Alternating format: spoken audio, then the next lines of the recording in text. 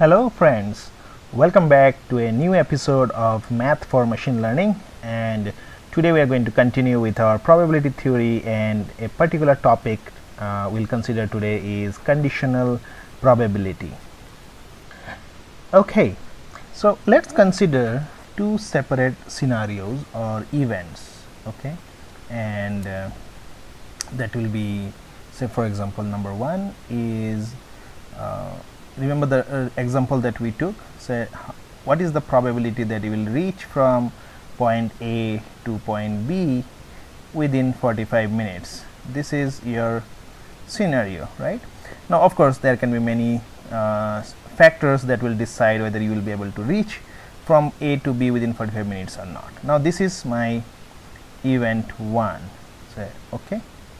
And let's consider another point or a different event altogether that is whether it is going to rain today or not okay? Whether it is going to what is the probability that it is going to rain today okay? So these are the given two scenarios or events uh, in our case um, all right so now if I have to uh, represent these two events then I can uh, draw an area like this okay.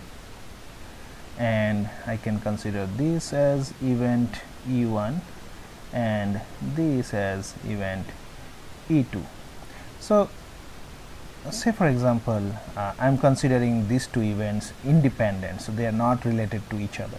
So for example i'm moving i'm going from a to b and say this is in new jersey in the us yeah?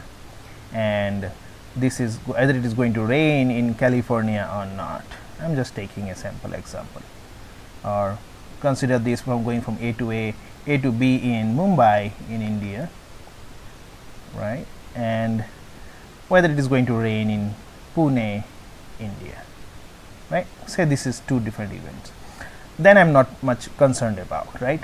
But what if what if I'm in Mumbai and I want to know whether I will be able to reach from A to B within 45 minutes given that I already see it is raining. Okay?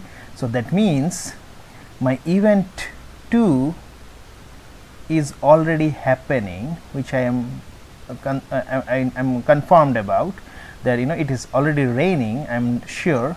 I just want to know whether I will be able to reach from A to B within 45 minutes or not. Now in this case in this case what happens is instead of looking at the entire sample or entire area I am more interested in looking into this portion here. I am more interested in this portion here. Okay. So, right, my, right now my sample space has become this one and not just the complete area or sample space. I am not considering the entire of E1. So, what I am saying here is given that E2 is already happening that means it is already raining so, what is my probability that I will reach from A to B within 45 minutes? That means I am interested to know about this portion here. So, if I have to mathematically write, so I want to know what portion of my E2, so if I write it this way, if this is my probability of E2, then what portion of my E2 uh, is going to tell me that whether I will reach from A to B in 45 minutes or not and this shaded portion as we have seen earlier is given by E1 and intersection E2 and this is known as conditional probability. In our next video we are going to see an example uh, with, with calculations and also will uh, this will lead us to something very important called Bayes theorem. So, I hope you have learned something new today and stay tuned to our channel and take care